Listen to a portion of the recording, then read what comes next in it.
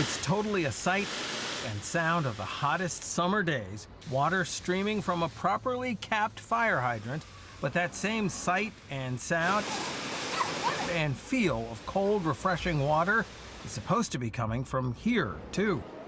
These are sprinkler heads. They are off even though the playground in which they're located is open. All city playgrounds are open, but we could find none whose sprinklers and fountains were on. It just adds to the inconveniences, people told us. It's been really, really difficult. It's been hot, the mask, the gloves. She pointed out that the pandemic has changed and closed so many resources for cooling, from the city's pools to libraries where people can usually sit in air conditioned comfort. Even the cooling center locator is not activated. But Don Jean says he'll keep cool one way AC.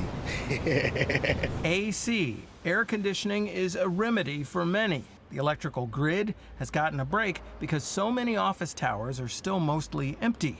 But more people are running air conditioners at home. That contributed to the week long blackout in Astoria, Queens in 2006.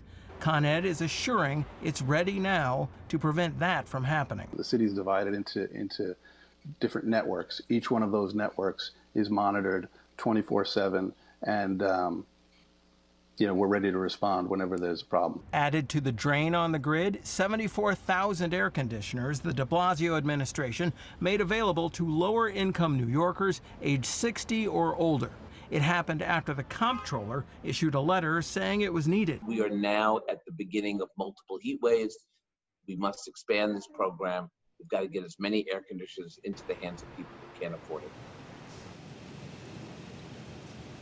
Now, if you or someone you know needs a free air conditioner, or if you need help paying your electric bill to power your air conditioner, there are resources. We've got the links. Just go to my Facebook page at facebook.com slash James Ford TV.